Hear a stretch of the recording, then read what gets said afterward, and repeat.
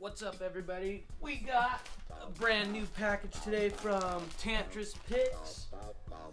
They sent this out to me, so let's open it up. Thank you guys so much.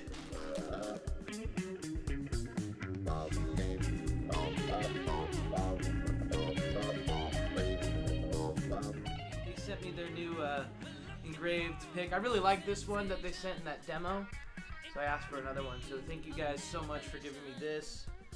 Um, these look really good in that pendant they gave me. All right. Oh, looks like we got two shirts. All right. You guys are seeing this before I am. Oh. Sweet. Rad. Thank you guys. Let's see what that other one is. Oh. Alright, so again, you guys are seeing this one before me.